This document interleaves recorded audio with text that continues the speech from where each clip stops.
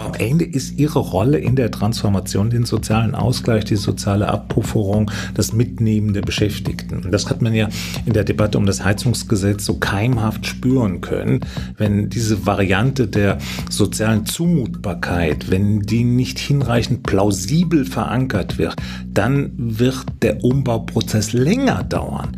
Insofern sollte man großes Interesse daran haben, dass man Organisationen mittlerer Reichweite hat, die um die soziale Plausibilität wissen, dafür einstehen und diesen Prozess zwar nicht mit beschleunigen werden, aber die ihn absichern und in eine nachhaltige Perspektive bringen können.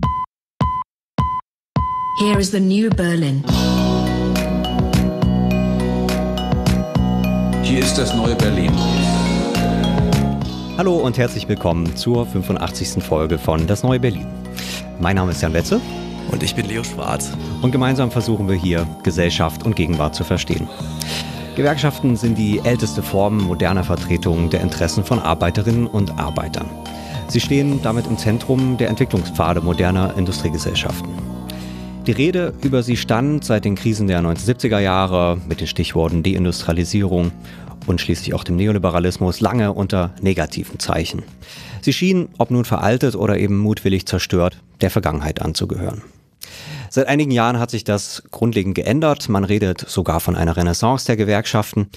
Doch gleichzeitig gibt es natürlich eine Reihe von Herausforderungen. Ob Klimawandel, die durch den Ukraine-Krieg beschleunigte Energiewende und Industriewende, eine pluralisierte Zivilgesellschaft, der Verlust klassischer Arbeitermilieus, schließlich neue rechtsextreme und zumindest angebliche Volksvertreter. Veränderungen, die die Gesellschaft insgesamt betreffen und die Gewerkschaften eben aufs Besondere. Wir wollen heute einen Blick in die Vergangenheit, Gegenwart und Zukunft der deutschen Gewerkschaften wagen und natürlich auch mit dem internationalen Blick in diesem großen Bild. Und dafür haben wir zu Gast Wolfgang Schröder. Er ist Professor für das politische System der Bundesrepublik Deutschland in Kassel, forscht am Wissenschaftszentrum Berlin für Sozialforschung. Vor allem aber beschäftigt er sich eben seit vielen Jahren mit den Gewerkschaften, hat Standardwerke zum Thema verfasst, war selbst Leiter der Grundsatzabteilung der IG Metall. Wir könnten also kaum einen besseren Gast haben. Hallo Wolfgang. Ja, schönen guten Tag. Jetzt habe ich schon gesagt, ähm, seit einigen Jahren, das ist jetzt nicht mehr neu, redet man von einer Renaissance der Gewerkschaften. Äh, du weißt das besser, wann diese These so ein bisschen auftauchte. Was war so der Kontext und hat sich dieser optimistische Blick, der jetzt eben nicht erst zwei, drei Jahre alt ist, hat er sich eigentlich bestätigt? Was kann man zu dieser These sagen?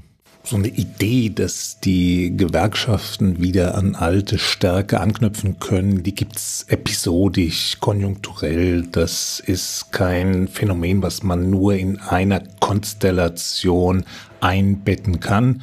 Aber du hast recht, vor zehn Jahren, vor 13 Jahren, die Weltfinanzkrise hat damals zu vielfältigen Formen der kooperativen Krisenregulierung geführt. Die Gewerkschaften waren diejenigen, die die Kurzarbeit protegiert haben, die die Abwrackprämie mit eingeführt haben und damit eine Nützlichkeit zur Krisenlösung gezeigt haben, die in der Politik, in der Gesellschaft sehr positiv aufgenommen wurde. Damit einhergeht auch eine gewisse Wertschätzung, dass äh, Gewerkschaften nicht nur existenziell für eine kapitalistische, asymmetrische Verteilung von Macht und Herrschaft sind und damit ein Gegengewicht zu den Unternehmen, zur Macht des Kapitals, sondern dass sie eben eingebettet sind in die Zivilgesellschaft, Vertrauen genießen und aus ihrer Expertise heraus dann im Interesse der Beschäftigten und der Gesellschaft Vorschläge unterbreiten, die zu deren Problemlösungsfähigkeit Fähigkeit äh, beiträgt. Und das war so eine der Konstellationen. Gleichzeitig sind diese Thesen von der Renaissance immer von so einem gewissen Romantizismus geprägt. Also die Gewerkschaften so als die entscheidende Gegenmacht die dazu beiträgt, dass diese Gesellschaft wieder ins Lot kommt und dass die Elite und das Volk zueinander finden und damit Demokratie gestärkt wird. Das scheint mir sehr romantisch zu sein und hat wenig mit der Realität äh, zu tun. Insofern würde ich dem nicht so viel Bedeutung beimessen. Gleichzeitig ist natürlich klar, wenn Organisationen sich nützlich machen, gute Dinge tun und das Ganze sichtbar wird in einer auf Konflikten und auf Widersprüchen aufbauenden Gesellschaft, dann sind da immer Hoffnungen mit verbunden. Das ist schon extrem wichtig. Und insofern gibt's immer Linien aus diesen Krisen heraus, die sich nicht nur damit verbinden, dass man eine imaginäre Stärke der Vergangenheit reproduziert, sondern dass da ein wichtiger zentraler Akteur ist, der einen Beitrag zur Demokratie, zum Sozialstaat und zu Gerechtigkeit vor allen Dingen leisten kann. Jetzt wissen natürlich alle, wie die Geschichte gelaufen ist, weil die normale Erwartung war ja, dass aus diesen Widersprüchen des Kapitalismus, des Finanzkapitalismus sich eher gestärkt eine linke Bewegung etabliert, die nunmehr die Hegemonialposition in der Gesellschaft erlangt, für mehr Demokratie, für mehr Gerechtigkeit wirbt.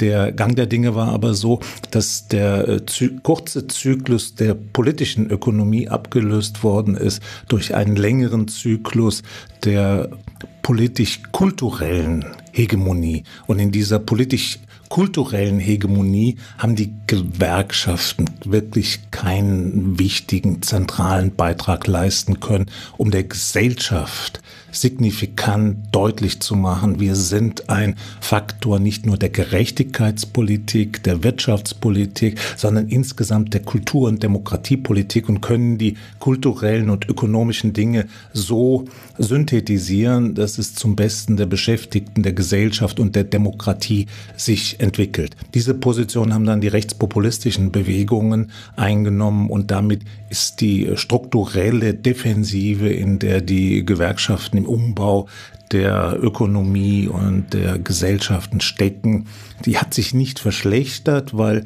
es schon eine gewisse Erwartungshaltung an die Gewerkschaften gibt, weil es eine gewisse Loyalität gibt und weil es eine Funktionalität vor allen Dingen in den Kernbereichen der exportorientierten Industrie gibt. Aber aus diesen drei Dimensionen hat sich nicht sowas wie eine gesellschaftspolitisch erhöhte Relevanz ergeben. Mhm. Sondern im Gegenteil, dadurch, dass einerseits die kulturelle Dimension im Vordergrund stand und andererseits dann sukzessive die ökologische Dimension nach vorne rückte. Und im Rahmen der Ökologie sind äh, Gewerkschaften eher ambivalente Akteure zu dieser Verortung zwischen den Herausforderungen, den ökologischen Herausforderungen, dann, wie du schon sagtest, die ja von rechts die politischen Konfliktlinien äh, kommende Neuorganisation sozusagen der Konflikte, ähm, kommen wir äh, im Laufe der Sendung und ich glaube genau das ist das Ziel, das so ein bisschen zu, zu verorten. Was jetzt die sozusagen Machtbasis angeht, nämlich die Mitglieder, was kann man da zu der Entwicklung sagen? Ähm, also auch da hat man natürlich über viele Jahrzehnte der Organisationsgrad also der Organisationsgrad ist zurückgegangen. Ich weiß gar nicht, ob das für alle, alle westlichen Industrieländer so gilt. Wie hat sich das entwickelt und wie würde man das heute äh, einschätzen, auch sozusagen mit Blick auf die Zukunft? Naja, die Gewerkschaften haben klassischerweise ihre Hochburgen in der Industrie, in den Großbetrieben, in den etablierten Branchen, die über eine lange Tradition verfügen und in denen es möglich gewesen ist, die Arbeitgeber in einen Klassenkompromiss, in ein sozialpartnerschaftliches Arrangement einzubeziehen. Das wird häufig vergessen. Die Mobilisierungsstärke und Akzeptanz der Gewerkschaften im Sinne eines hohen Organisationsgrades, der schöpft sich nur zum Teil aus ihrer eigenen Stärke, zum anderen Teil eben aus der Einsicht der Unternehmen, dass ein guter Kompromiss mit der Arbeitnehmerschaft institutionalisiert für sie auch strukturelle Vorteile hat im Sinne der Planbarkeit, im Sinne der Sicherheit, im Sinne einer hohen Produktivität. Und dort, wo dieses Sicherheitsproduktivitätsparadigma sich hat realisieren lassen, wie in Maschinenbau, Automobilindustrie, chemische Industrie, pharmazeutische Industrie, da sind nach wie vor hohe Organisationsgrade existent. In anderen äh, Bereichen, die zunehmend an Bedeutung gewonnen haben, eben der gesamte Dienstleistungssektor außerhalb der staatlichen äh, Strukturen, der hat es nicht vermocht, die Gewerkschaften haben es nicht vermocht, dort eine Vergewerkschaftung der Beschäftigten und der Strukturen zu erreichen. Und äh, somit haben wir verschiedene Welten. Ich spreche immer von drei Welten äh, der Gewerkschaften in Deutschland. Und die erste Welt ist die Welt, in der es nicht nur einen guten Organisationsgrad gibt, sondern auch starke Betriebsräte und die Anwendung von Flächentarifverträgen.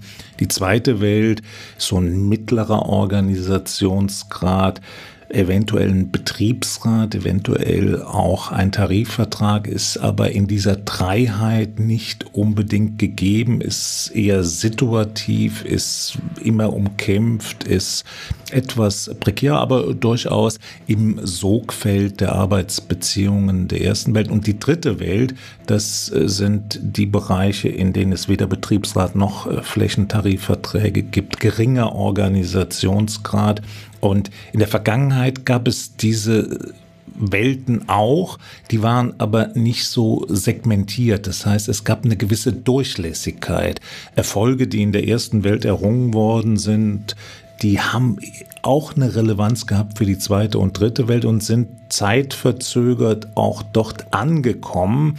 Und das hat sich stark entkoppelt bis hin zu einer umgekehrten Dynamik, dass nämlich Elemente der Deregulierung, der Entkopplung, wie wir sie in der dritten Welt haben, dann zunehmend auch in Teilbereichen der ersten und zweiten Welt sich etablierten und damit insgesamt das System prekärer, weniger planbar, weniger sicher gemacht haben.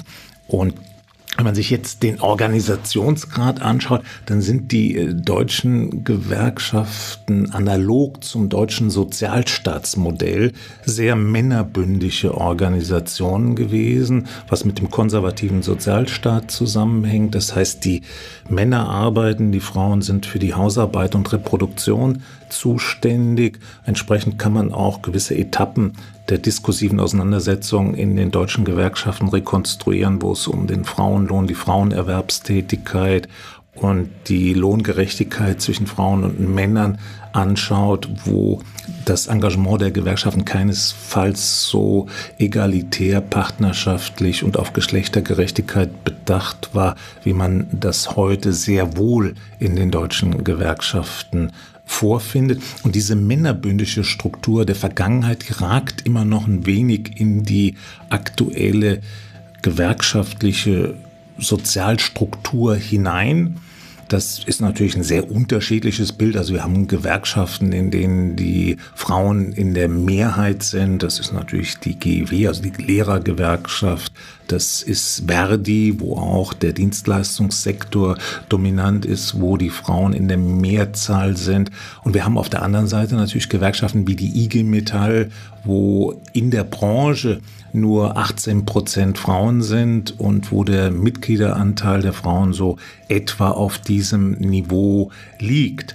Und jetzt könnte man ja sagen, gut, wenn das alles auf dem Niveau liegt, wie es auch die Sozialstruktur der Beschäftigten hergibt, dann gibt es ja eigentlich kein Problem. Doch, es gibt ein Problem, weil das war das, was du, Jan, eben angedeutet, wie sieht es denn eigentlich im internationalen Bereich aus? Und wir können rekapitulieren, dass dort, wo Gewerkschaften Erfolge in der Mitgliederrekrutierung haben in der Regel diese Gewerkschaften femininer sind. Das heißt, die haben sich stärker auf die grundlegende Strukturveränderung des Arbeitsmarktes eingestellt und sind besser in der Lage, die äh, besonderen Interessen von Frauen so zu berücksichtigen, dass sie auch mit der Kultur der Gewerkschaft stärker harmonisiert werden können.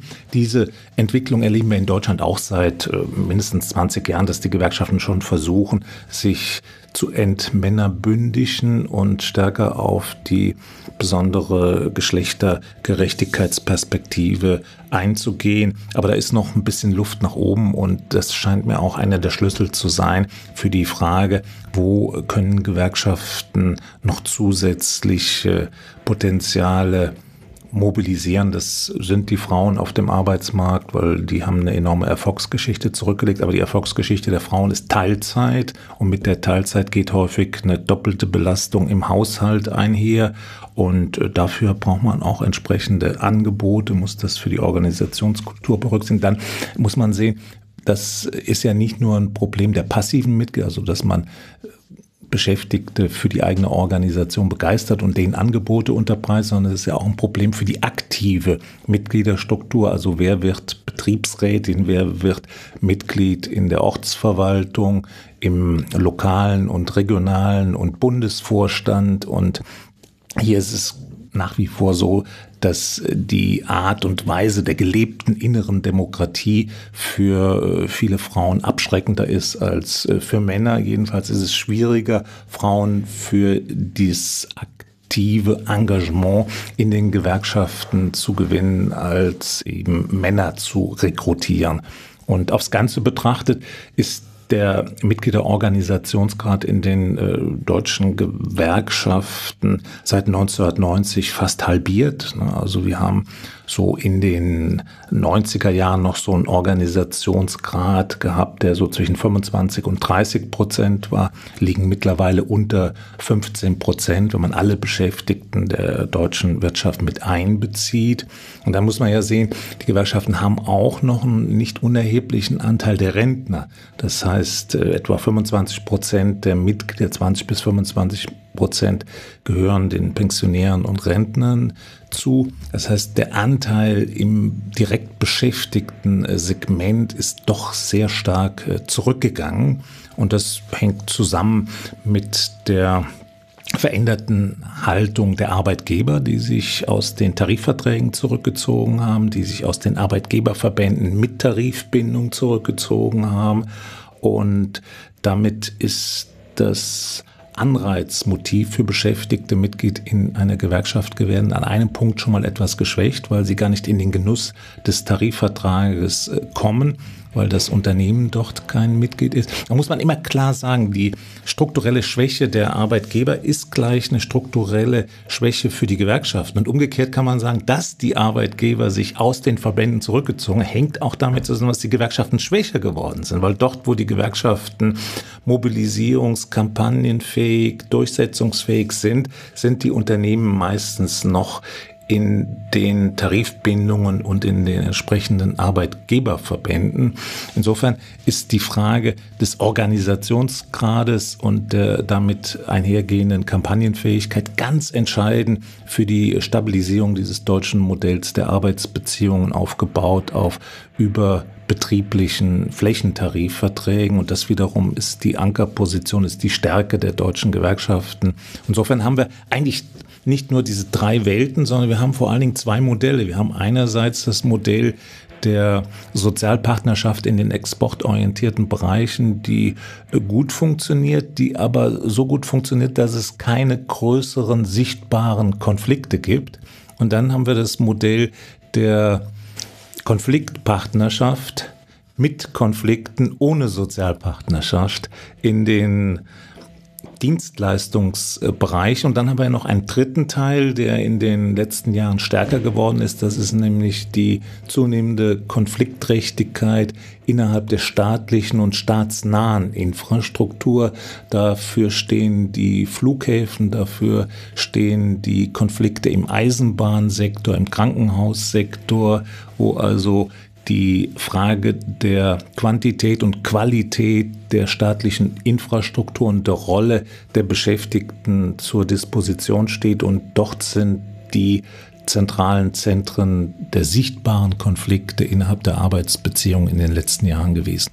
Es ist schon vieles angesprochen. Vielleicht beginnen wir mit diesem Wandel der Mitglieder. Also du hast gesagt, es gibt diese Verweiblichung, das ist ein langer Prozess, der aber nicht so schnell geht in Deutschland, hat das was mit diesen ja zwei unterschiedlichen Welten zu tun, die du schon angesprochen hast, dass ich eben in den exportorientierten ja großen Unternehmen, die natürlich auch den höchsten Organisationsgrad haben und klassisch auch sozusagen in dem Fall die Macht der IG Metall begründen, dass sich dort eben relativ wenig äh, tut, dass das so konservativ ähm, doch bleibt und auch das Machtmodell sich nicht groß geändert hat, solange eben die deutsche Industrie äh, Konkurrenz fähig bleibt und daneben eben diese neuen Bereiche entstehen.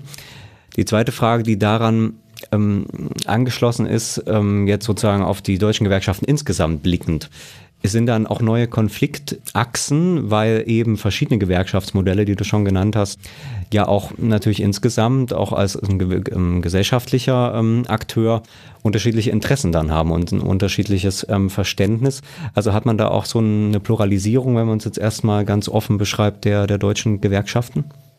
Also wenn man mit der Mitgliederfrage und den Hemmnissen für die stärkere weibliche Rekrutierung zu sprechen kommt, dann habe ich den Eindruck, dass in diesen exportorientierten Sektoren, die ja ansonsten gut organisiert sind, eine hohe Kampagnenfähigkeit haben, dass doch die Rekrutierungsfähigkeit ein Stück weit noch an klassischen Mustern scheitert oder gehemmt wird, wenngleich auch hier innerhalb der letzten Jahre viele Aktivitäten beobachtbar sind. Zum Beispiel ist es so, dass die IG Metall selbst sehr darauf geachtet hat, den Anteil weiblicher Führungskräfte extrem zu erhöhen. Also das steht in keinem Verhältnis zur Branchenrepräsentanz und ist durchaus Ausdruck eigenen politischen Willens, um mit gutem Vorbild hier voranzugehen. Und die IG Metall wird ja jetzt in diesem Jahr auch erstmals eine weibliche Vorsitzende bekommen. Der DGB hat eine weibliche Vorsitzende. Also das sind im Vergleich zu anderen gesellschaftlichen Organisationen Spätstarter in der Geschlechtergerechtigkeit, aber das ist jetzt auch normalisiert, wenn man so will. Der zweite Punkt ist die Pluralität der Gewerkschaftskulturen, der Gewerkschaftsstrukturen innerhalb der deutschen Gewerkschaften. Da haben wir ja nicht nur die Gewerkschaften innerhalb des DGBs zu sehen, sondern wir haben den Deutschen Beamtenbund, der eine recht starke Organisation ist mit beträchtlichen Mitgliedererfolgen in den letzten Jahren. Und wir haben dann die Spartengewerkschaften. Also wir haben in Deutschland, die hatten da mal eine empirische Auswertung gemacht über 100 Gewerkschaften insgesamt. Der Blick ist natürlich richtigerweise auf die Gewerkschaften unter dem Dach des DGBs gerichtet und darauf sollten wir erstmal auch unser Augenmerk konzentrieren, um zu verstehen, wie die Vielfalt äh, beschaffen ist. Die IG Metall und äh, Verdi stellen hier mehr als die Hälfte der Mitglieder des äh, Deutschen Gewerkschaftsbundes dieses Interesse am Deutschen Gewerkschaftsbund, das ist auch sehr unterschiedlich ausgeprägt. Also für kleine Gewerkschaften war das traditionell sehr wichtig gewesen, dass es einen starken Gewerkschaftsbund gibt, der für sie gewisse Aufgaben mit übernehmen kann, und zwar nicht nur in der Rechtsberatung, sondern vor allen Dingen auch im Lobbyismus gegenüber der Regierung und in der Öffentlichkeitsarbeit. Die großen Gewerkschaften haben da weniger oder gar kein Interesse daran, weil das alles in ihrer eigenen Organisationsstruktur sehr entfaltet ist.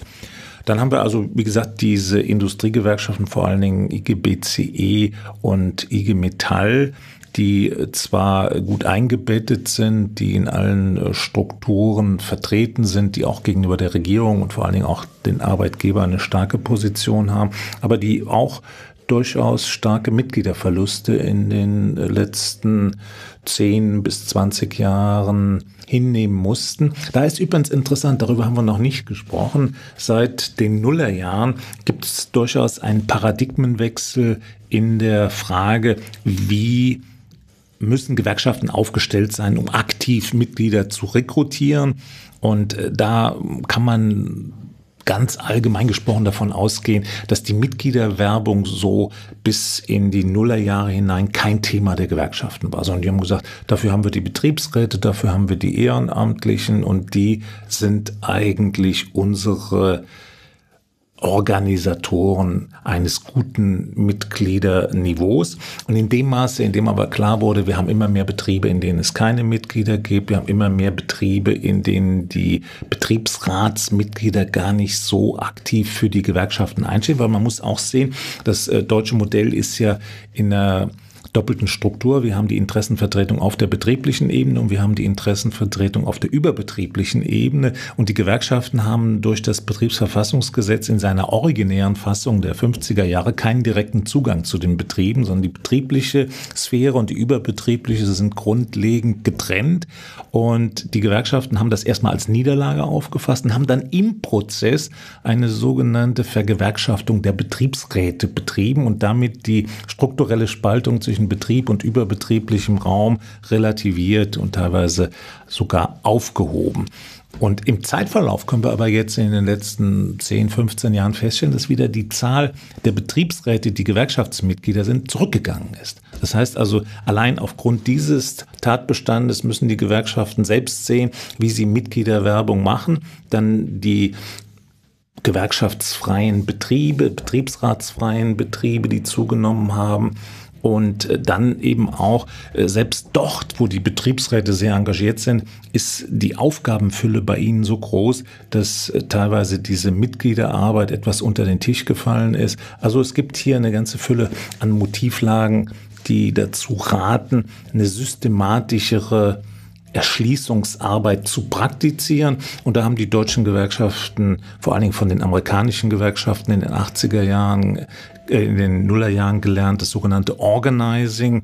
Und das meint eben Aktivierung von Mitgliedern, Aktivierung von schon gewerkschaftlich affinen Personen in den Betrieben, um in einem positiven Wechselspiel dann durch Konflikte und durch Sichtbarkeit deutlich zu machen, wir haben was anzubieten, wir sind eine starke Truppe und wenn ihr Mitglieder werdet, werden wir noch stärker und können dann auch die Verhältnisse zum Besseren verändern. Da spielt natürlich auch eine Rolle, dass man über, dass man teilweise versuchte, die Mitgliederwerbung und die die Implementierung von Tarifverträgen in einem äh, Vorgang zu realisieren. Dann kommen natürlich immer auch die Fragen, wenn es Streik gibt, dann ist ja das Arbeitsverhältnis suspendiert und das ist eigentlich die klassische Situation, wo Beschäftigte dann auch Gewerkschaftsmitglieder werden können, weil ihnen klar ist, aha, äh, da könnte ich ja jetzt einen Nachteil haben. Durch die Gewerkschaftsmitgliedschaft habe ich so eine Art Versicherung und durch diese Versicherung ist es für mich nachvollziehbar, dass diese Gewerkschaft für mich einen Nutzen hat. Also dieses Zusammenspiel Konflikte, Gestaltung, Perspektiven entwickeln, das hat man systematischer entwickelt seit den Nullerjahren und damit auch durchaus kleinere und größere Erfolge errungen. Allerdings sind diese kleineren und größeren Erfolge nicht so groß, dass man den Weggang von Menschen durch den demografischen Wandel, also durch das Ausscheiden aus dem Betrieb kompensieren kann. Weil das ist auch ein Teil der äh, Geschichte dass die äh, Gewerkschaften vor allen Dingen in den 70er, 80er Jahren enorme Zugänge von jungen Leuten hatten und die sind durchaus über ihr Berufsleben Mitglied geblieben, steigen jetzt aber aus und die nachfolgenden Jahrgänge sind kleiner. Die nachfolgenden Jahrgänge haben nicht mehr diese politische Motivation, haben nicht mehr diese Organisationsloyalität und insofern sind die aktiven Rekrutierungsprozesse, die da jetzt stattfinden, zwar hilfreich und gut, aber sie können den Abgang aufs Ganze nicht kompensieren. Aber es ist ein innovativer Faktor, der die Gewerkschaft in den letzten Jahren attraktiver hat werden lassen und ihnen auch wieder eine stärkere Eigenständigkeit zugesprochen, weil das Schlimmste in strukturell schwierigen Phasen ist ja, wenn man nichts tut und wenn man abwartet, was die anderen tun, sondern man muss natürlich selbst etwas tun und das ist so ein starkes Moment der Selbstorganisation, die dazu beigetragen hat, auch das Selbstbewusstsein zu stärken. Kann man dann im Blick auf die Organisation selbst auch von so einer Professionalisierung sprechen? Also wir sehen ja an vielen Bereichen alle möglichen Formen von Massenorganisationen, ob das Volksparteien sind, ob das auch die Kirchen natürlich in Deutschland sind, die an sozusagen dieser, was du schon sagtest, Organisationsloyalität, also wirklich dieser breiten Basis ähm, deutlich verloren haben. Gleichzeitig eben äh, sicherlich auch irgendwie, um das zu kompensieren und um eine neue Rolle zu finden, in der Organisation eine Professionalisierung Professionalisierung begonnen hab, hat. Ähm, das sind ja dann auch äh, eben diese Organizer, Campaigner und so weiter. Das äh, gab es ja alles vor 50 Jahren noch nicht. Ähm, ist das ähm, also einerseits die Entwicklung und zweitens natürlich damit verbunden die Frage, entstehen damit auch neue Konflikte, weil man eben diese professionelle, professionelle Ebene hat, die Du meintest auch ähm, zum Beispiel weiblicher ist als eigentlich die Basis. Also das heißt, die auch entschieden und, und ähm, ganz bewusst sagt, wir sind nicht einfach eine Repräsentation, sondern wir haben auch unser eigenes ähm, Programm.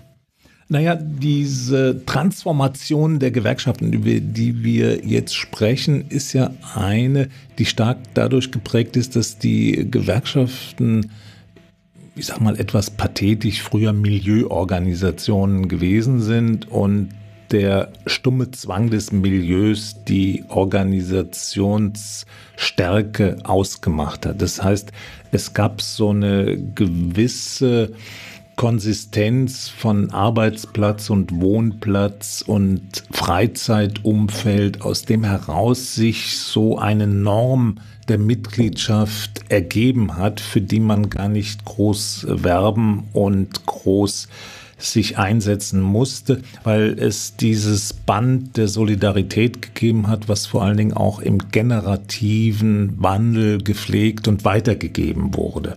Und in dem Maße, in dem dieses Milieu sich sukzessive aus, aufgelöst hat, und das ist jetzt kein, kein disruptiver Prozess, den man auf einige wenige Jahre äh, fixieren kann, sondern das ist natürlich ein Prozess, der schon in den 50er Jahren äh, begonnen hat, sehr ungleichzeitig verlaufen ist, hat äh, sich dann auch die Organisation auf der einen Seite professionalisiert und auf der anderen Seite aber auch wieder Rückschritte gemacht. Also zum Beispiel früher gab es das Prinzip der hausbezogenen oder arbeitsplatzbezogenen Beitragskassierung. Und durch äh, dieses Prinzip gab es auch für die passiven Mitglieder immer wieder einen Ansprechpartner. Es gab eine Erinnerung, die Organisation existiert. Das sind Personen, die ich sprechen kann, die mir Ratschläge geben können, über die ich eine Erweiterung meiner Handlungsmöglichkeiten erlangen kann und ich bin Teil dieser Organisation.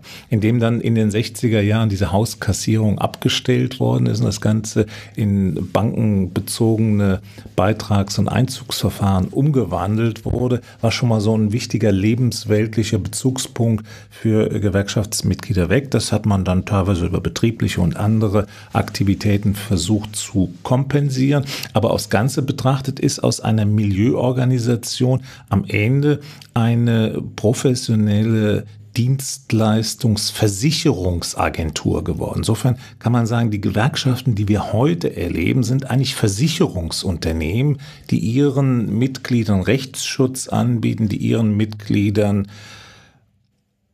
Tarifverträge anbieten und Ansprechpartner in allen möglichen Lebenslagen.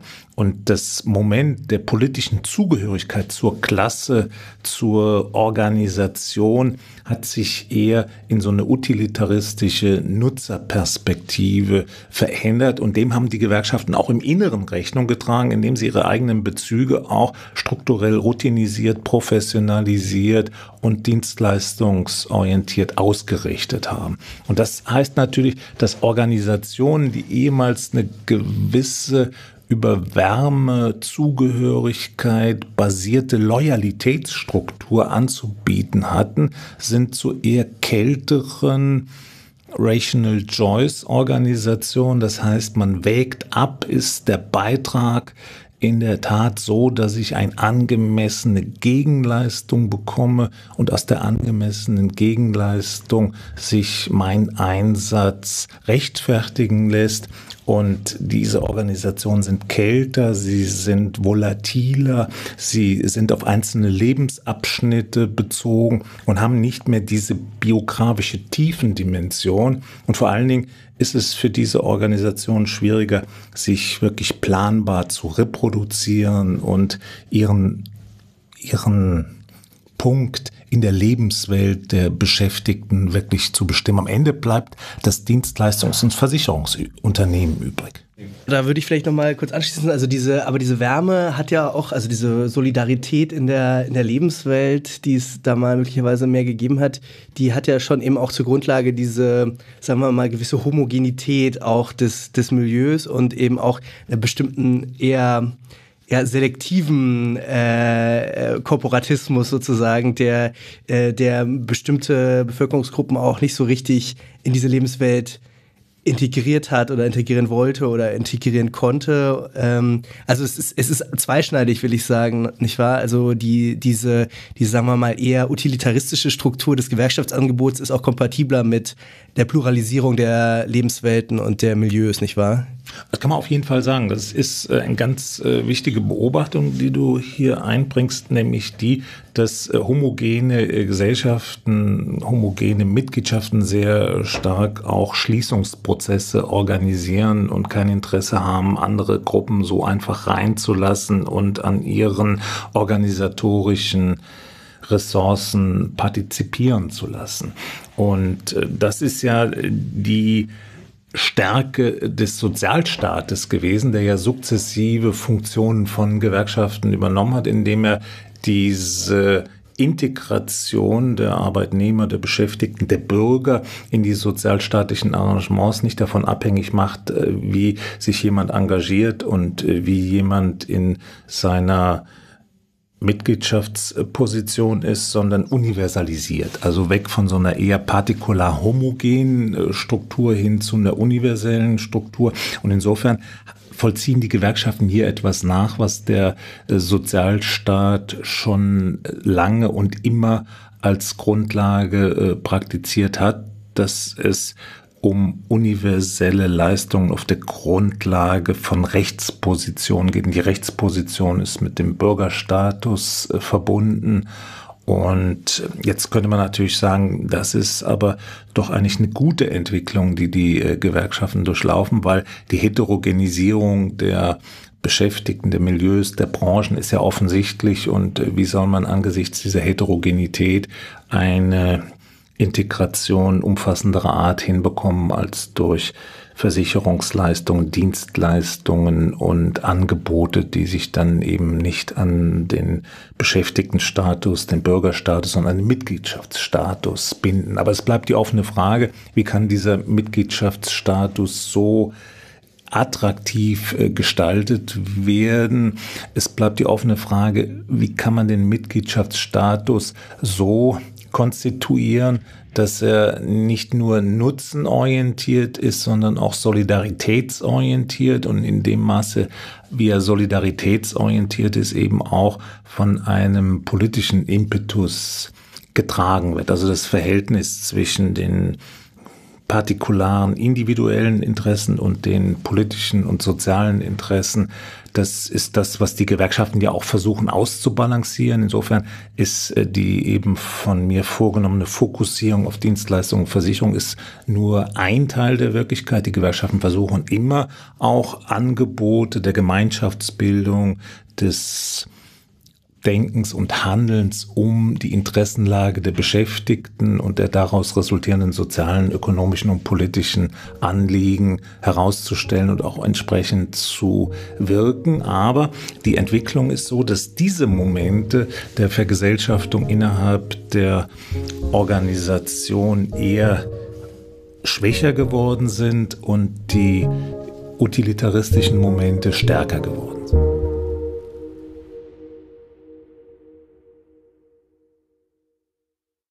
Hallo, entschuldigt die kurze Unterbrechung. Danke, dass ihr unseren Podcast hört. Das Neue Berlin ist ein unabhängiger, kostenloser und werbefreier Podcast, in dem wir versuchen, die Gesellschaft zu verstehen. Die Geistes- und Sozialwissenschaften in all ihrer thematischen Breite helfen uns dabei.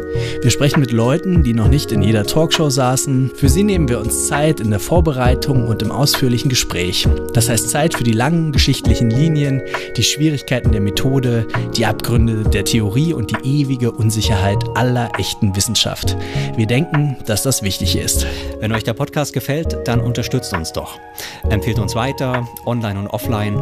Folgt uns auf Twitter und lasst uns eine gute Bewertung bei Spotify, Apple oder der Podcatcher-App eures Vertrauens da. In der gegenwärtigen Medienlandschaft gibt es viele tolle Formate jenseits der klassischen Massenmedien. Für die meisten existieren keine echten Geschäftsmodelle und davon leben können die wenigsten. Überlegt euch doch, welche Formate euch wichtig sind und welche eure finanzielle Unterstützung verdient haben. Falls das neue Berlin dazugehört, findet ihr weitere Infos im Text der Episode. Herzlichen Dank. Und jetzt geht's schon weiter mit der Sendung. Dann kommen wir vielleicht nochmal zu den ja, politischen Herausforderungen oder, oder äh, geänderten Bedingungen, unter denen ähm, Gewerkschaften ihre Rolle suchen, weitersuchen. Über allem steht natürlich, ähm, was den wirtschaftlichen Wandel angeht, der Klimawandel und die Herausforderungen, die das für den Umbau der Industrie bedeutet. Ich glaube, du hast einleitend gesagt, dass die Gewerkschaften, und es betrifft natürlich dann insbesondere die Industriegewerkschaften, ähm, eine ambivalente Rolle einnehmen. Wir haben mit Jana Fleming, ähm, wir verlinken das äh, unten auch schon mal darüber gesprochen, über diese Versuche, ja, eine neue Rolle zu finden. Ähm, wie wäre deine Einschätzung? Also man guckt ja immer mal erfolgreich auf so wen wenige Einzelfälle, wo auch eine Zusammenarbeit zum Beispiel mit Fridays for Future äh, in Tarifauseinandersetzungen gelungen ist. Insgesamt hat, hat man aber jetzt nicht den Eindruck, ähm, dass ähm, die IG Metall zum Beispiel sich vorne äh, und sichtbar politisch als so ein Player des Transformations ähm, ähm, ja, Angebot sozusagen oder der Transformation der Wirtschaft ähm, ja, sozusagen präsentieren kann oder auch wirklich diese Rolle übernehmen kann, was auch verständlich ist natürlich, weil das an vielen Stellen unklar ist, wie genau ähm, eben dieses Exportmodell und das deutsche Industriemodell diesen Wandel genau hinkriegt. Ja, was, was wäre deine Einschätzung der, der aktuellen Situation? Naja, Gewerkschaften sind ja zunächst einmal Organisationen der Interessen der Beschäftigten. Das heißt, es geht um deren Arbeitsplatz, um deren Partizipation an den wirtschaftlichen Erträgen inklusive der Partizipation an der Gestaltung ihrer eigenen Arbeitsbedingungen. Und das ist, glaube ich, zunächst mal als zentrale Ankerposition äh, zu nehmen. Das heißt, wenn äh, Beschäftigte in ökologisch pro problematischen Bereichen agieren, dann kann man von der Gewerkschaft in der Gegenwartsbezogenheit des Verlangens, etwas für diese Gruppe zu tun, nicht erwarten, dass sie sagen, naja, das hat eigentlich hier keinen Platz mehr, weil wir wissen ja alle, ökologisch ist diese Form der Produktion, diese Form der Produkte, die hier entwickelt werden, gar nicht im Sinne der ökologischen Bilanzen, sondern die müssen irgendwie eine Brücke bilden. Die müssen sagen, okay, die Leute haben Anspruch darauf, dass sie einen sicheren Arbeitsplatz haben, dass sie eine gute Entlohnung erfahren und dass ihr Arbeitsplatz so beschaffen ist, dass sie sich dort entfalten können. Und äh, gleichzeitig kann die gleiche Gewerkschaft sagen, aber wir sehen, dass äh, diese Form der Produktion begrenzt ist und wir beteiligen uns normativ strategisch an Überlegungen, wie können Produkte und Arbeitsprozesse und Ressourcen so gestaltet werden, dass sie eben ökologisch kompatibel sind. Nur wir haben das ja bei der IGBCE am stärksten immer gesehen, die die Beschäftigten der Montanindustrie, der Kohleindustrie, der Atomkraftwerke in starkem Maße organisiert. Und von dieser Gewerkschaft kann man natürlich, konnte man in der Vergangenheit nicht erwarten, dass sie für den Kohleausstieg, dass sie für den Atomausstieg, sondern sie hat diese Beschäftigten dort vertreten, wo sie sind und wo ihre Erwerbsinteressen auch äh, liegen. Und äh, insofern ist, glaube ich, sind zwei Dinge zu unterscheiden. Also man kann die aktuellen Interessen nicht ignorieren als Gewerkschaft, weil man damit seinen eigenen Daseinsgrund zerstören würde. Und auf der anderen Seite kann man von dieser Gewerkschaft aber durchaus erwarten, dass sie im Dialog mit den Mitgliedern die Perspektiven erörtert und über den Tag hinaus auch Überlegungen anstellt, wie eine zukunftsfähige äh, Produktion in diesen Bereichen stattfindet. Also wenn man zum Beispiel IG Metall nimmt, die hat 1972 äh, den großen Kongress Qualität des äh, Lebens in Oberhausen durchgeführt, wo sie bereits eine sehr weitreichende Perspektive, den Umbau der Industriegesellschaft prognostiziert hat, wo sie analog zum Club of Rome die äh, Dinge gestaltet hat und das qualitative Wachstum ins Zentrum gerückt hat. Und damit hat man natürlich schon mal so eine normative Positionierung, die über das gegenwartsbezogene Interessenshandeln hinausreicht und signalisiert der Öffentlichkeit, den sozialen Bewegungen und der Politik, äh, wir müssen uns jetzt für die Leute einsetzen, die hier arbeiten. Aber wir sehen, dass langfristig andere Dinge möglich und notwendig sind. Und damit hat man eine Allianzposition, hat eine gesellschaftliche Sensibilitätsposition. Ich glaube, das sind schon mal ganz gute äh, Punkte. Aber äh, wenn man zum Beispiel heute die Transformationsprozesse anschaut, dann ist es ja auch so, dass äh, bei den Arbeitgeberverbänden und bei den Gewerkschaften ja Mitglieder sind, die äh, Rohstoffe benutzen und Produkte produzieren, die umweltschädlich sind. Und diese Gruppe wird sich nicht für ein forciertes Vorgehen in der Transformation aussprechen. Dann hat man solche, die jetzt schon Ressourcen und Produkte produzieren, die dem Green Deal, die der neuen nachhaltigen Kreislaufwirtschaft entsprechen, die wird man voll auf seiner Seite haben. Und dann hat man die Gruppe derjenigen, die sowohl als auch orientiert sind und die sind, glaube ich, besonders wichtig für das weitere Vorgehen der Gewerkschaften der Öffentlichkeit, um starke Bündnisstrukturen in Richtung einer nachhaltigen Wirtschaft zu ermöglichen. Also es ist nicht einfach dieses Verhältnis äh, kognitiv und äh, praktisches äh, Tun, sondern es sind harte Interessen und äh, diese Interessen kann man ein Stück weit auflockern und damit in eine strategische Position bringen, indem man unterscheidet zwischen den gegenwartsbezogenen und den mittel- und längerfristigen Interessen. Und da können Gewerkschaften durchaus etwas tun, aber nicht gegen ihre Mitglieder, sondern mit den Mitgliedern. Das muss, glaube ich, Gewerkschaften auszeichnen. Da würde ich gerne noch mal nachfragen. Also leider stellt sich ja die ökologische Katastrophe nicht mehr nur so wie in den 70er Jahren, sondern mit einer Dringlichkeit, die, also sagen wir mal, ganz handfest auch Zeithorizonte vorgibt, äh, die wirklich massive gesellschaftliche, äh, industrielle, infrastrukturelle, technische Umbauten erfordert, die in, eigentlich in kürzester Zeit ablaufen müssen, um ähm, den Zeithorizonten auch nur einigermaßen noch zu entsprechen, die, äh, die geboten sind. Und die interessante Frage ist ja, können Gewerkschaften äh, dort Akteur gesellschaftlicher, in, in jeder Hinsicht progressiver Transformation werden. Also es gibt so vereinzelte Beispiele, ich glaube aus Italien gibt es so eine, ein, eine, ähm, ein Werk in Campi Bisenzio bei Florenz, wo sowohl äh, wo Arbeitskampf mit betrieblicher Konversion, also es ist ein Autozulieferer verbunden wurde, wo dann äh, die Be Beschäftigten dafür auch gestreikt haben, dass jetzt in Zukunft hier bitte Fahrräder produziert werden, glaube ich. Ich habe die Details nicht mehr ganz im Kopf. Also das wäre ja sozusagen so eine, so eine Verbindung von Arbeitskampf und ökologischem, äh, ökologischer Transformation, die vorbildlich wäre.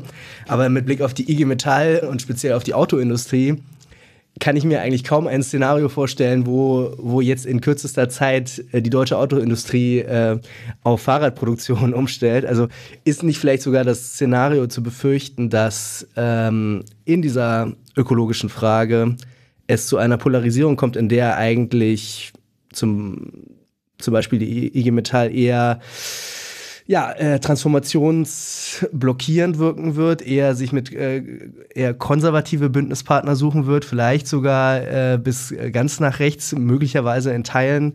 Also ist dieses Szenario nicht auch zu fürchten in diesem, wie sie ja schon, wie du ja schon sagst, handfesten ähm, Interessenkonflikten, die da bestehen? Wie äh, schätzt du das ein? Also ich sehe jetzt keine Anhaltspunkte, dass die Gewerkschaften jetzt Bündnispartner von ganz rechts anvisieren.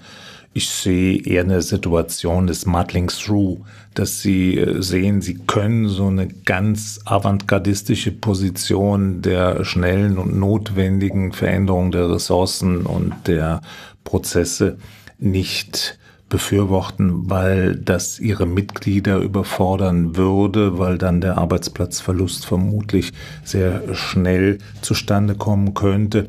Und äh, deshalb werden sie so eine mittlere Position weiter einnehmen, wo sie einerseits Interessen vertreten, andererseits aber sehr deutlich die normative Bedeutsamkeit des schnellen und nachhaltigen Umbaus der Industrie äh, formulieren. Und diese mittlere Variante ist einerseits unbefriedigend, weil sie in der Geschwindigkeit keinen zusätzlichen Impuls setzt. Sie ist aber stark, weil sie dann doch anschlussfähig ist auf der normativen Ebene zu den sozialen Bewegungen, zu den entscheidenden Prozessen in der Politik. Man muss ja sehen, bei diesen Prozessen ist es ja nicht einfach nur, dass Unternehmen dieses oder jenes tun können, sondern es gibt ja internationale Verträge, es gibt äh, Vorgaben und diese diese Arrangements reduzieren die Komplexität der etwas. Und das ist, glaube ich, auch für die Gewerkschaften ganz gut, weil sie dann auch Punkte haben, auf die sie sich beziehen können. Aber am Ende ist ihre Rolle in der Transformation den sozialen Ausgleich, die soziale Abpufferung,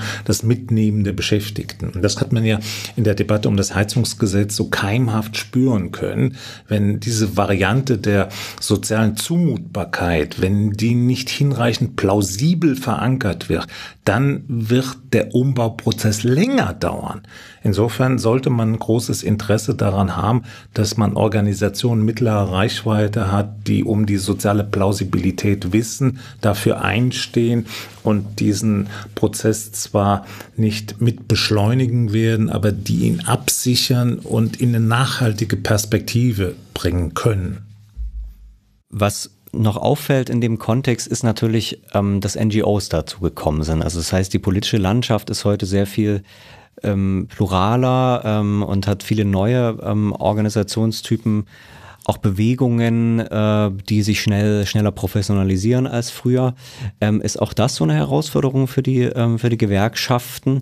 Ähm, weil sie eben es mit einer viel größeren politischen Landschaft ähm, heute zu tun hat. Also wie reiht sich sozusagen die ja sehr alte und, und ähm, altehrwürdige zum Teil ähm, Gewerkschaft da in dieser ja, neuen Vielfalt von Organisationen ein, die ja eben gerade, wir haben jetzt über Fridays for Future gesprochen, Greenpeace, ähm, alle möglichen ähm, ähm Verbände und, und NGOs. Ja, wie, wie kann man da die Gewerkschaft oder also einmal einschätzen und wie schätze sich auch selber dort ein in dieser Vielfalt?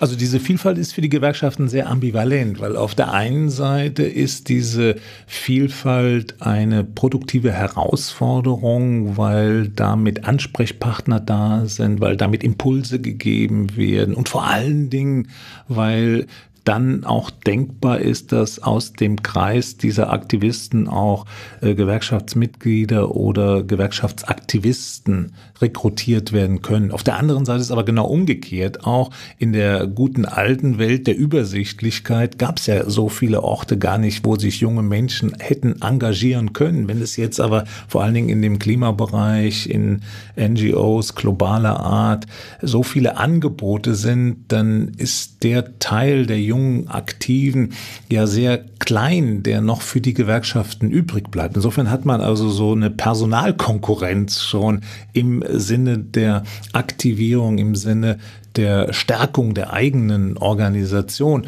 Und äh, diese Ambivalenz muss man äh, schon sehen. Ich denke, am Ende ist es eine, eine, interessante Herausforderung für die Gewerkschaften, weil das ja eben dazu beitragen kann, dass sie inhaltlich, personell und äh, organisatorisch sich dadurch auch ein Stück weit weiterentwickeln können in der Jetztzeit. Und da macht es ja keinen Sinn, zurückzublicken auf die gute alte Zeit der Übersichtlichkeit, sondern die Zeit ist jetzt so, wie sie ist und die Gewerkschaften müssen das schon als eine konkurrenzhafte Herausforderung begreifen, die da existiert. Ne? Weil das ist klar, also der Anteil der Aktivisten, der wächst nicht beliebig von Menschen, die sich engagieren. Und für die jungen Menschen ist es viel besser nachvollziehbar, sich in dem ökologisch globalen Bereich zu engagieren, als sich in dem äh, gewerkschaftlichen Bereich. Und äh, da müssen aber Gewerkschaften Brücken bauen, ne? weil wenn sie den jungen Leuten plausibel machen können, hört zu, wir sind an der gleichen Front wie ihr, aber wir müssen die Leute mitnehmen. Und wenn wir die Leute gewinnen, dann äh, können wir eigentlich Punkte machen, die genau in eurem Interesse sind.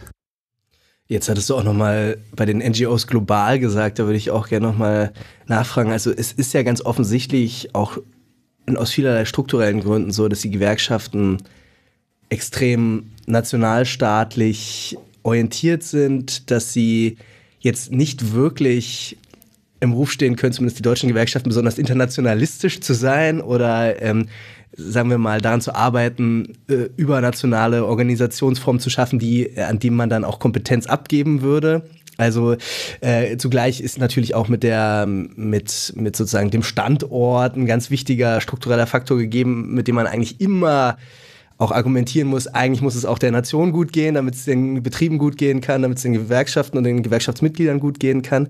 Gleichzeitig äh, entsteht da natürlich auch so eine Art von Partikularismus, Universalismus-Problem, ganz offensichtlich natürlich, weil wir in einer extrem ungleichen Welt leben und auch einer extrem ungleichen arbeitsteiligen Welt, in der sozusagen die Arbeitskämpfe in anderen Teilen der Welt, in ärmeren Teilen der Welt, in, in der Peripherie des Weltsystems sozusagen äh, möglicherweise gar nicht so unmittelbar in, in Harmonie stehen mit den ähm, Belegschaftsinteressen in Mitteleuropa.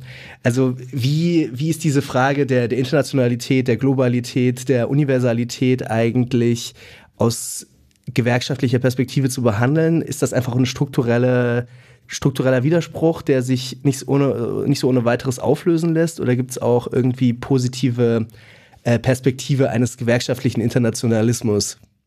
Ja, unbedingt gibt es eine positive Perspektive, weil in dem Maße, in dem sich die Wertschöpfungsketten in den letzten drei, vier Jahrzehnten extrem internationalisiert haben, ist die Verständigung, die Kooperation mit den anderen Gewerkschaften an anderen Standorten immer bedeutsamer geworden. Ich würde sogar sagen, sie ist ein Stück weit Teil der Alltagswelt von großen Betriebsräten, von Gewerkschaften, die darum wissen, dass sie selbst nur noch semi-souverän sind in der Einschätzung und in der Handlungsorientierung und darauf angewiesen sind, die Kompetenzen und die Bedürfnisse der anderen mit zu berücksichtigen. Zweitens ist es so, die deutschen Gewerkschaften sind vermutlich die Hauptfinanziers der meisten internationalen Organisationen, die supranationale Interessen äh, bündeln.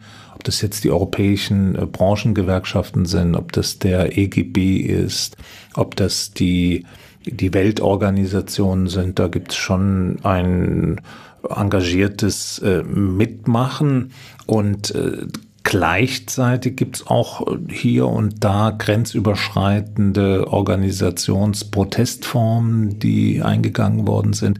Wenn man jetzt aber die, diese, diesen hehren Anspruch des Internationalismus, so wie du ihn auch jetzt nochmal formuliert hast, mit der, mit der sichtbaren Praxis der Gewerkschaften versucht in Einklang zu bringen, da scheint natürlich auf den ersten Blick eine ziemliche Diskrepanz, was ja darauf maßgeblich zurückzuführen ist, dass die normativen Ansprüche der internationalen Solidarität das eine sind, das andere ist die die Institutionalisierung von Sozialstaat und Gewerkschaften ist je nationalstaatsspezifisch. Das heißt, es gibt äh, keine zwei Länder, die ein gleiches äh, Sozialstaatssystem haben, die ein gleiches Gewerkschaftssystem haben. Und trotzdem gibt es eine gemeinsame Interessenlage, die daraus resultiert. Es geht darum, die Interessen der Beschäftigten möglichst optimal äh, zu unterstützen, was dann teilweise aber in Konkurrenz zueinander auch stehen kann, vor allen Dingen, wenn es um Standortfragen geht. Ne? Also wenn die Frage ansteht, soll der Standort in Mittelosteuropa erweitert werden oder der Standort in der Bundesrepublik, dann hat man natürlich einen knallharten Interessenskonflikt. Und der ist aber von den deutschen Gewerkschaften in der Vergangenheit auch nicht einfach immer nationalstaatlich chauvinistisch gelöst worden, ne, sondern man hat vielfach durchaus äh, Verlagerungen auch unterstützt und hat gesagt, okay, das macht Sinn, wenn äh, bestimmte Bereiche hier bleiben. Also man hat da durchaus einen offenen Verhandlungsprozess, der Interessenlagen beider Seiten auch berücksichtigen kann. Das ändert aber nichts daran, dass es eine Konkurrenzlage ist. Das ist überhaupt äh, keine Frage.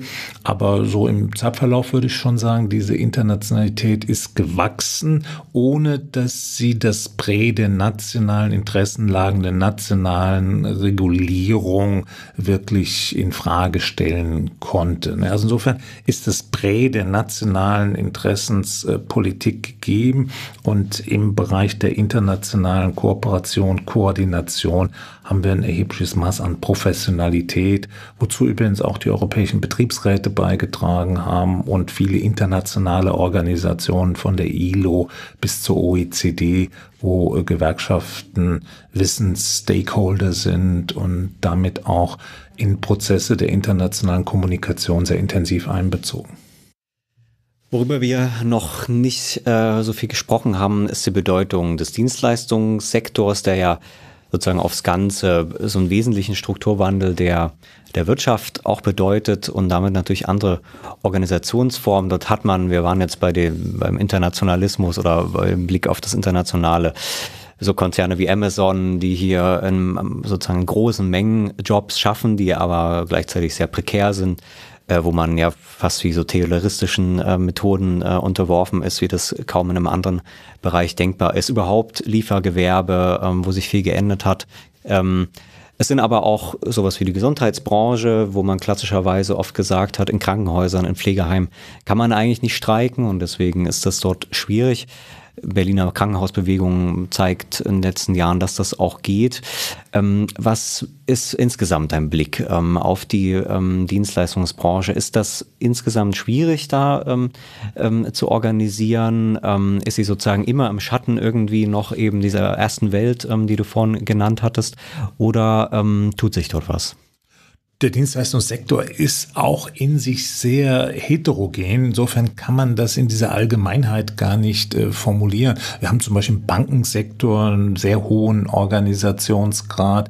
Wir haben bei den Krankenschwestern in den größeren Krankenhäusern guten Organisationsgrad. Wir haben auf der anderen Seite zum Beispiel in der Altenpflege einen ganz geringen Organisationsgrad. Das hat jeweils historische, akteursbezogene Gründe, warum im einen Fall Stärke vorliegt und im anderen Fall Schwäche. Aber aufs Ganze betrachtet ist es im Dienstleistungssektor in Deutschland nicht in gleicher Weise wie in der exportorientierten Industrie möglich gewesen, so eine Institution, Ordnung der Stabilität und Sicherheit zu entfalten, wo Arbeitgeber und Gewerkschaften gleichermaßen die äh, Dinge versuchen so zu bewirtschaften, dass vor dem Hintergrund eines gewissen Kräftegleichgewichts eine positive Bilanz für beide Sozialpartner möglich ist, sondern wir haben in dem Dienstleistungssektor meistens die Position der Dienstherren, die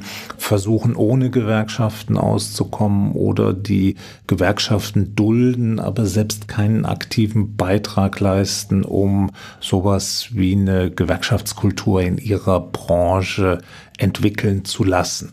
Und äh, das äh, ist ein wesentliches Merkmal der Heterogenität unseres äh, Gewerkschaftsmodells aufs Ganze, dass diese starke Position der exportorientierten Industrie, die aber immer von der Beschäftigtenzahl immer schwächer wird. Also der Anteil der, der, des Industriesektors liegt so etwa bei 20 Prozent, während der Dienstleistungssektor eben bei fast 80 Prozent äh, liegt. Und dieser Dienstleistungssektor ist dann eben auch nochmal sehr heterogen, wenn man den Staatssektor da mal rauszieht, der ja auch in der Regel ganz gut organisiert und reguliert ist und auf der anderen Seite dann die äh, prekären Bereiche. Und zu den prekären gewerkschaftlichen Bereichen zählen aber nicht nur solche, die ökonomisch schwach sind. Du hast das mit, mit Emerson oder mit vielen Unternehmen der I&K-Industrie, der Start-ups und moderner, durchaus dynamischer, sehr hohe Umsätze machender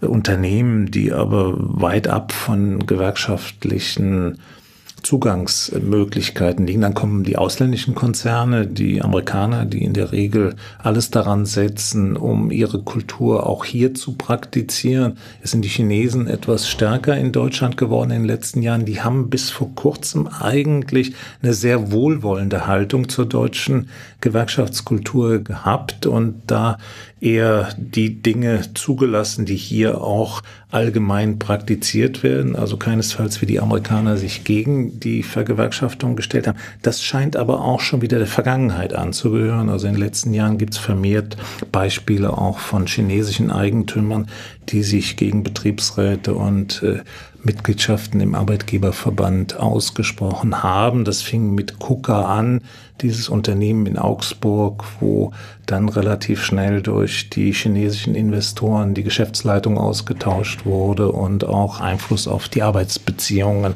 genommen wurde.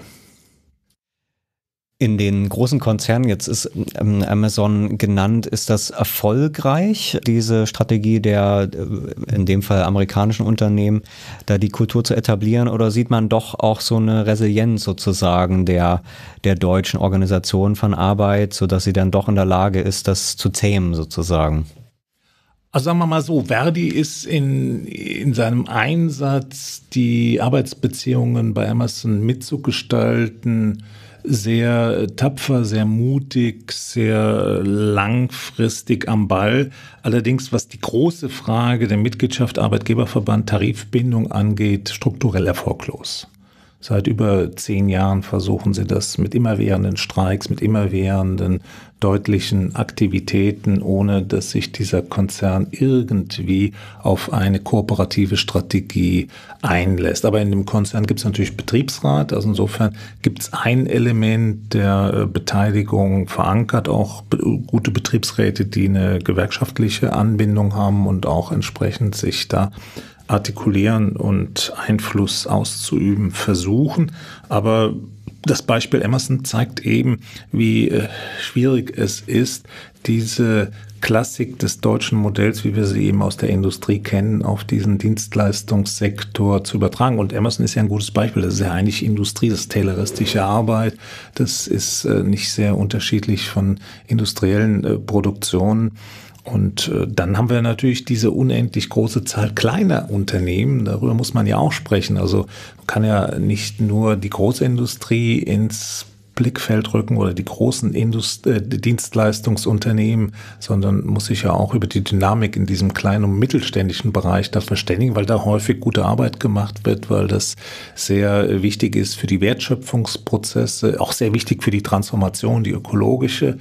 Und äh, da haben Gewerkschaften klassischerweise traditionell Schwierigkeiten hineinzukommen, weil dann ein anderes Verständnis von Gemeinschaft ist, von, von, von der Nichtakzeptanz von externen Gruppen, die Einfluss nehmen können. Und die Ausdifferenzierung in diesen Einheiten ist nicht so vorangeschritten, dass man Gewerkschaften als Unterstützung im Prozess der Steuerung dieser Unternehmungen äh, begreift. Und dann ist es, glaube ich, auch wichtig, wenn wir jetzt die Transformation schon ein paar Mal angesprochen haben, die Windenergie, ne? weil da würde man ja denken, das ist eine wachsende, eine explosive, ganz wichtige Branche für dieses Land, nicht nur von Arbeitsplätzen, von Wertschöpfung, sondern davon hängt ja viel ab, wie die Energiewende funktioniert. Und da ist die IG Metall seit über zehn Jahren äh, sehr bemüht, einzelne Unternehmen zu taktieren und sie für eine kooperative Strategie zu gewinnen. Und der Widerstand ist enorm. Ne? Und man ist ja sehr erstaunt. Darüber haben wir ja jetzt noch gar nicht gesprochen. Wir haben ja nicht nur das Problem von Inflation, Energie, Transformation, sondern wir haben das Problem des Arbeitskräftemangels. Und der Arbeitskräftemangel ist ja die entscheidende Ressource, die die Stärke der Gewerkschaften gegenwärtig noch absichert. Also das ist ja viel stärker als alles andere, weil durch die Knappheit am Arbeitsmarkt ist natürlich natürlich der Mut der Beschäftigten, sich einzusetzen, viel größer, weil sie Alternativen haben. Die Knappheit ermöglicht höhere Lohn, Lohnab, Lohnabschlüsse und die Knappheit äh, verlangt auch auf Arbeitgeberseite ein höheres Engagement für bessere Arbeitsbedingungen und in einigen Fällen auch für Kooperation. Also für die Arbeitgeber gibt es ja zwei Möglichkeiten. Entweder sie werden selbsttätig und bieten höhere Löhne und bessere Arbeitsbedingungen aus eigenen Motivlagen und in alleiniger Regie an oder sie sagen, naja gut, dann nutzen wir das Ganze doch direkt und bauen uns wieder verstärkt oder erstmals in so einen kooperativen Handlungszusammenhang ein. Und die letztere Variante ist allerdings sehr selten zu sehen. Insofern muss man natürlich fragen, was können oder was sollten Gewerkschaften unter dem Primat der Knappheit tun, um die Kooperationsbeziehungen der anderen Seite herauszufordern. Und das halte ich eigentlich für eine riesige Chance, ne, indem sie Angebote unterbreiten, wie man gemeinsam die Attraktivität der Arbeitsplätze so gestaltet, dass äh, Leute dort sich auch motiviert sehen, ihre Arbeitsstelle zu suchen und zu finden. Also das heißt, man kann sagen, diese, was wir vorhin mit dem utilitaristischen Motiv hatten, in den Jobs, die eben gefragt sind, ich kenne das selber auch aus dem Freundes- und Bekanntenkreis, ähm, gerade in diesen ähm, entwicklungsintensiven Branchen, ist zum Teil der das gar nicht notwendig, sich zu organisieren, weil man eh alle drei Jahre wechseln kann. Man kriegt, äh, wird bombardiert mit Angeboten von Headhuntern, kann mit diesen Angeboten natürlich zum Arbeitgeber gehen und, und ähm, kriegt im Prinzip fast jährlich seine, ähm, seine Gehaltserhöhungen. Ähm, das heißt, aus utilitaristischen Motiven ist das nicht unbedingt notwendig. Jetzt hast du gesagt, es ist wichtig, sich das anzugucken. Was wären denn äh, dann Ansätze? Also so diese reine lebensweltliche Verankerung, die wir hatten, die ist natürlich dann so nicht möglich in dieser ähm, ja, konservativen Rückkehr sozusagen in die guten alten Zeiten. Aber was, worüber wird dann sonst so diskutiert, wenn man eben tatsächlich konkurrieren will in gewisser Weise mit den Angeboten, die die Arbeitgeber machen müssen durch den Fachkräftemangel? Naja, was auf jeden Fall ein zentrales Thema ist, ist das Thema Qualifizierung weil bei der Qualifizierung ist es so, dass die insgesamt in Deutschland sich quantitativ nach oben entwickelt hat. Das heißt, immer mehr Menschen und auch unter besseren Bedingungen können in Qualifizierungsarrangements eingebunden werden. Auf der anderen Seite haben wir nach wie vor die klassischen Defizite, dass diejenigen, die eigentlich am stärksten auf Qualifizierung angewiesen werden, um ihren Arbeitsplatz und ihre Entwicklungsmöglichkeiten zu fördern, am schlechtesten, am seltensten und am geringsten in den Genuss solcher Fördermaßnahmen kommen, weil der Arbeitgeber das gar nicht einsieht, weil das bringt für den Arbeitsplatz gar nichts und er will diesen Arbeitnehmer ja auch nicht verlieren, indem er sich höher qualifiziert und dann in ein anderes Unternehmen gehen könnte. Also hier wären schon Angebote zu entwickeln, wobei auf Arbeitgeberseite eben eine sehr zurückhaltende Gangart existiert, um dies tariflich festzulegen, weil die Arbeitgeber natürlich sagen, ja, warum sollen wir den geringer Qualifizierten jetzt Angebote der Qualifizierung machen, die für diesen Arbeitsplatz gar nicht notwendig sind. Das ist eine Aufgabe, die müssen sie entweder selbst in Angriff nehmen oder äh, es äh, könnte vielleicht eine Aufgabe des Staates sein, aber auf keinen Fall eine, die den Sozialpartnern vorbehalten sein sollte. Dann äh, spielt äh, auf die Frage, was könnten Gewerkschaften anbieten, sicherlich die, die Verbindungen zwischen äh, Familie und Beruf eine wichtige Rolle. Also der Aufbau und die qualitative Bewirtschaftung von Kindergärten, von äh, Senioreneinrichtungen, um die Vereinbarkeit von Familie und Beruf vor allen Dingen äh, für Frauen, die ja nach wie vor stärker in Teilzeit sind und in Beschäftigungskalamitäten zu verbessern. Und auch, was ja eigentlich noch sinnvoller wäre, auch eine gewisse positive Anreizstrukturen für partnerschaftliche Erwerbsmodelle und partnerschaftliche Angebote zur Teilung der häuslichen Arbeit. Also das ist ja durch Institutionen und durch Hilfsleistungen durchaus zu verbessern. Da gibt es sicherlich äh, Möglichkeiten. Dann die Arbeitszeitpolitik spielt äh, immer wieder eine Rolle. Ne? Die Kampagne für vier Tage Woche finde ich eigentlich einen sehr guten äh, Punkt weil äh, damit äh, deutlich wird, wie wir leben in einer zunehmend sich immaterialisierenden äh, Wirtschaftsgesellschaft und diese Immaterialisierung hat den Preis, dass psychische Leiden, Druck, seelische Art, Burnout doch eine ganz andere Qualität erreicht hat als in der klassischen Industriearbeitskonstellation. Das heißt, da braucht man auch andere Angebote, um zu regenerieren, um den Arbeitsplatz als äh,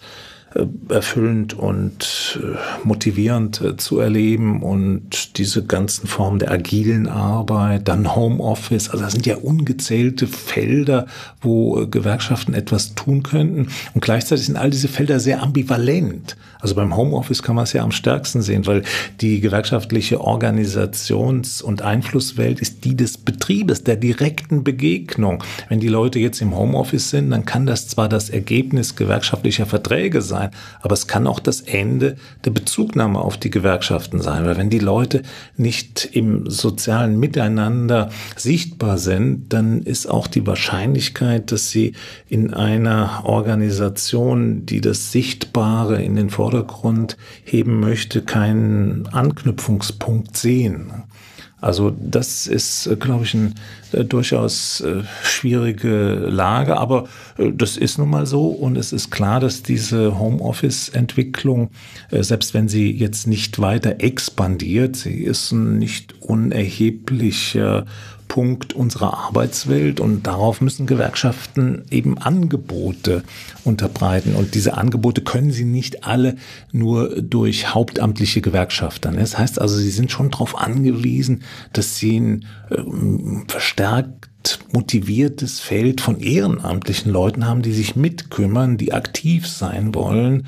Und das ganze Partizipationsthema, das treibt die Gewerkschaften schon sehr, weil sie haben das so in ihrer Rede als ganz selbstverständlich eingebaut. Aber die Voraussetzungen, um diese Selbstverständlichkeit umzusetzen, die wandeln sich natürlich permanent. Wir haben es eben gehabt mit den ökologischen Bewegungen, die viele Aktivisten absorbieren, die dann eben für das Gewerkschaftliche nicht zur Verfügung stehen.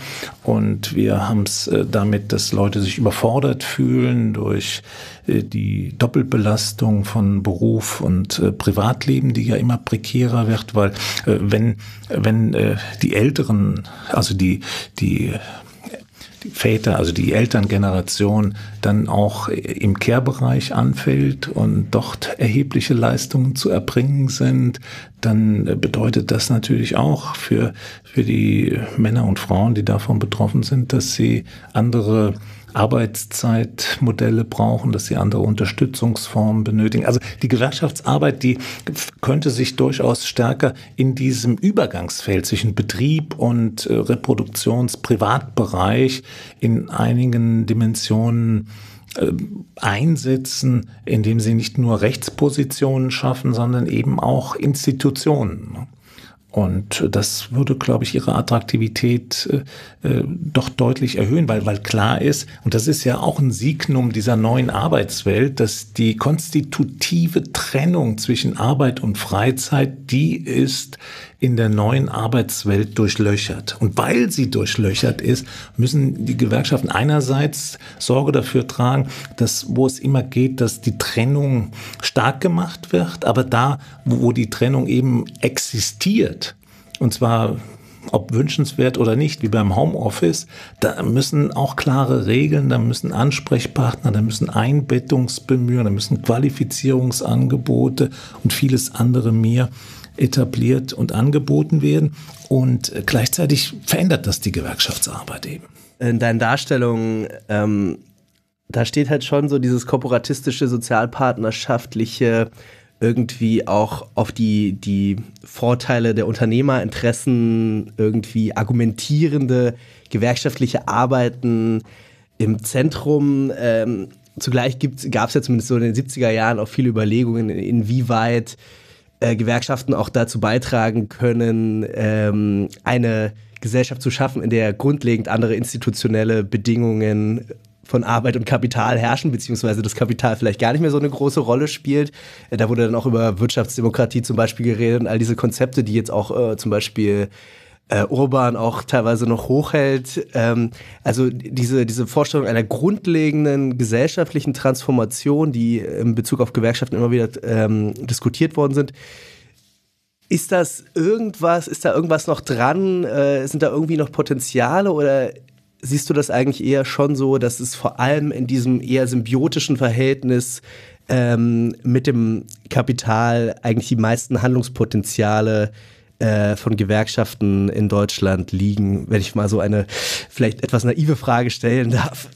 Naive Fragen sind immer sehr gut, weil sie Dinge klarer machen. Ja. Natürlich ist das so. Dort, wo also Arbeit und Kapital sich auf Augenhöhe begegnen und die Gewerkschaften aufgrund einer Anerkennung stark institutionalisiert sind, gibt es ganz andere Löhne, gibt es ganz andere Partizipationsmöglichkeiten, gibt es ganz andere Emanzipations- und Entfaltungspotenzial. Das kann einem gefallen oder nicht, aber das ist einfach ein Tatbestand, weil in den Bereichen, wo die Rede von dem ganz anderen existiert, ist die Realität die der Prekarität.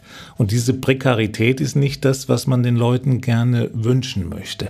Und der Punkt von dir ist aber trotzdem super wichtig, weil Gewerkschaften nicht nur traditionell, sondern auch aktuell sich nicht erschöpfen in ihrer Versicherungs- und Dienstleistungslogik, sondern sie haben einen emanzipativen Auftrag in der Herstellung von Bedingungen sinnhafter, guter, universell gültiger Bedingungen von Arbeit und Anerkennung.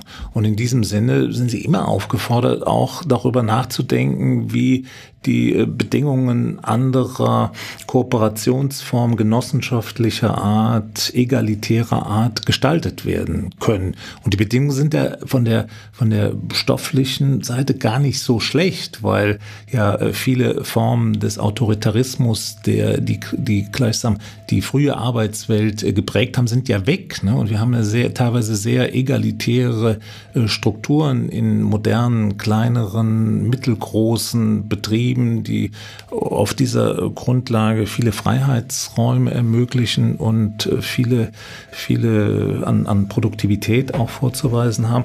Aber man muss das natürlich koppeln, also die, die Frage der Beteiligung, die Frage der Autonomie und die Frage der Eigentumstitel. Ne? Das scheint mir schon wichtig und das äh, ist, glaube ich, schon ein Strom, der von Seiten der Gewerkschaften auch bedient werden sollte. Ich habe manchmal den Eindruck, dass sie das zu traditionalistisch angehen, dass sie zu wenig souverän das angehen, weil da könnte man viel souveräner die Dinge angehen, weil die, die Arbeitswelt hat sich ja doch in vielen Bereichen so äh, verändert, dass sie eher in Richtung dieser egalitären und auf Selbstbestimmung hinauslaufenden Strukturen geht. Aber dann ist natürlich auch immer zu sehen, das sind einzelne Bereiche. Wir haben nach wie vor viele beschissene Bereiche von Arbeit, also von der Fleischindustrie, von gewissen Dienstleistungsbereichen mal gar nicht zu reden. Und auch dafür muss man was anbieten können. Also die, die Aufgabenvielfalt ist sehr groß und das ordnungspolitische Denken über die, zur Überwindung dieser äh, kapitalistischen äh, Logik und eher kooperativer fände ich schon gut, wenn das in den Gewerkschaften weiterhin auch eine Heimat hat und auch dort angeboten wird. Dann kommen wir zum Ende nochmal mit einem neuen Thema, was wir hier eher nur anschneiden ähm, ähm, äh, und sozusagen nicht nochmal ausführlich darauf eingehen, aber ich glaube, es ist, äh, und du bist ja auch damit eingestiegen, ähm, so ein wichtiger Hintergrund ähm, aktueller gesellschaftlicher Veränderung, nämlich der Rechtsruck, ähm, der insbesondere natürlich im politischen Raum das Nachdenken erstmal geändert hat äh, und gerade auf dieser kulturellen Ebene auch erfolgreich ist. Und zumindest auf dieser kulturellen Ebene des Ausdrucks ähm, hat ja die AfD durchaus Erfolge, sozusagen diese Vorstellung des alten Industriearbeiters, ähm, der nun sozusagen von den Grünen, der ja eben der Hauptgegner ist in dem Fall, ähm, ja um seine nicht nur ähm, äh, kulturelle ähm, Lebensgrundlage und der Entwertung sozusagen seines Lebensstils, seines Konsumstils und so weiter äh, dazu befürchten hat, sondern eben auch die Jobs, die sozusagen in der Vorstellung und der äh, Rhetorik sozusagen von den Grünen systematisch zerstört werden werden in so einer grünen Deindustrialisierung ähm, Deutschlands. Inwiefern das gilt oder nicht, ist natürlich ein anderes Thema, aber man ist erfolgreich sozusagen mit dieser Inanspruchnahme. Leo hat das vorhin schon angesprochen. Du hast gesagt, das ist jetzt keine Kooperation der deutschen Gewerkschaften ähm, mit äh, sozusagen rechtsextremen Kräften und in dem Fall natürlich insbesondere der AfD zu befürchten. Ähm, aber auf kleinerer Ebene, auf der Ebene der Betriebsräte und so weiter, gibt es ja schon sozusagen die Befürchtungen, ähm, dass da sozusagen eine Art Unterwanderung passiert. Du hast selber auch dazu geforscht. Ähm, was ist da so ein bisschen die Aussicht, beziehungsweise erstmal, erstmal der Stand und, und die Aussicht? Ist das tatsächlich ein, eine Gefahr oder bleibt das eigentlich auf dieser Ausdrucksebene eher, die da die AfD ähm, besonders nutzt? Also zunächst mal muss man ja positiv hervorheben, dass es im gesamten Funktionärskörper der deutschen Gewerkschaften unter dem Dach des DGBs keinerlei AfD-affine Akteure gibt. Also die gibt es schlicht und einfach nicht. Und dann äh, wird man sich natürlich Rechenschaft ablegen müssen. Ja, aber die Gewerkschaften sind ja zuständig für die Arbeitsbedingungen, für die Tarifverträge. Wie sieht es in den Betrieben aus? Und wir wissen natürlich, dass vor allen Dingen in Ostdeutschland, aber durchaus auch in Westdeutschland, also kein ostdeutsches Sonderphänomen, dass dort äh, viele Akteure, viele Betriebsräte in der klaren Sprache der AfD, in der klaren Forderung, sich von grünen kosmopolitischen Diktionen fernzuhalten, sehr klar sind und sagen, wir haben hier ein hochentwickeltes Industriemodell, wir haben ein hochentwickeltes Wirtschaftsmodell, wir machen hier gute Arbeiten, wir haben hier keinen Bock, uns von den Grünen und anderen Weltverbesserern vorgeben zu lassen, wie wir hier produzieren, wie wir hier arbeiten, sondern wir finden das gut und das bedeutet, wir stützen eher die Kräfte, die gegen die Grünen eingestellt sind, die gegen eine schnelle Transformation eingestellt sind und versuchen, unsere Lebenswelt zu stabilisieren und unseren Wirtschaftsstandort zu stabilisieren. Und da gibt es schon eine erhebliche Unterstützung, wobei man die jetzt auch nicht überdramatisieren darf. Ne? Also bei den Umfragen bei den Nachwahlbefragungen waren es immer so zwei, drei Prozent höherer Anteil an AfD-Unterstützung als in der Gesellschaft, in den Gewerkschaften. Und äh, wenn das äh, Betriebsräte praktizieren, ist das natürlich sehr problematisch, weil das Einflussakteure sind, weil das Multiplikatoren sind, die mit ihrem Engagement auch die Organisation repräsentieren und damit auch einen Eindruck erwecken, einen Einfluss ausüben, der für die Gewerkschaften schädlich ist. Und die Gefahr der Unterwanderung würde ich in einigen Regionen nicht unterschätzen. Das heißt also, dass es nicht dabei bleibt, dass Betriebsräte aus ihrer betrieblichen Logik heraus bestimmte Positionen formulieren, sondern dass sie auch darüber hinaus versuchen, den Marktplatz und die örtlichen Organisationen der Gewerkschaften da auch als Gegenstand der Infiltration zu begreifen. Ne? Also das sollte man schon realistischerweise mit berücksichtigen für die weitere Entwicklung. Insofern muss dieser Befund von mir, dass die Gewerkschaften gegenwärtig sakrosankt sind, das muss nicht so bleiben, weil die Aktivitäten zur Unterwanderung sind im Gange. Und am Beispiel von Zentrum für Automobil in Stuttgart können wir ja sehen, dass äh, auch hier in einem Großunternehmen, wo ja respektable Partizipationsmöglichkeiten existieren, hohe Löhne existieren, sichere Arbeitsplätze, dass auch in einer solchen Konstellation sich bei geschicktem Einbinden und geschicktem Auftritt Punkte machen lassen.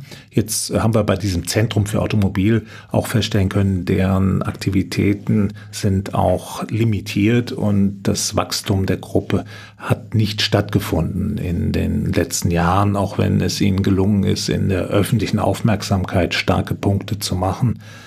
Und das hängt aber auch ein bisschen damit zusammen, dass äh, diese Rechtsextremen und Rechtspopulisten ja in der Regel die Repräsentationslücken zum Gegenstand ihrer Politik machen. Und die Repräsentationslücke ist natürlich, dass es keine Kraft in Deutschland gibt, die so eindeutig und fundamental die alten Industrien zum Maß der Dinge erklärt, weil sie Ruhe und Bescheidenheit und eine Souveränität, eine Scheinsouveränität suggerieren.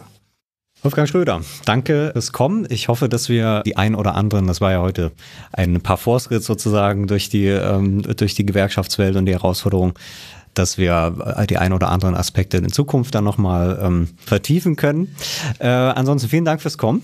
Ja, ich bin sehr gerne gekommen und äh, fand das auch ein angenehmes Nachdenken mit euch über die Entwicklung der Gewerkschaften. Und ich möchte sehr unterstreichen, die Rechten haben nicht das letzte Wort, sondern die Gewerkschaften sind nach wie vor ein zentraler demokratiepolitischer Faktor, der nicht nur gegen rechts ist, sondern der auch eine Rolle spielen kann und muss in der ökologischen Transformation, weil diese ökologische Transformation wird ohne soziale Einbindung, Einbettung, Kompensation nicht funktionieren. Und in dem Sinne stehen die Gewerkschaften eher für eine nachhaltige Entwicklung, weil die schnelle Entwicklung ist nur auf dem Reißbrett möglich und die nachhaltige Entwicklung, die muss durch Konflikte, durch Kämpfe, durch Deutungsschlachten erobert werden. Aber noch ein gutes Schlusswort. Wir danken fürs Hören. Empfehlt uns gern weiter.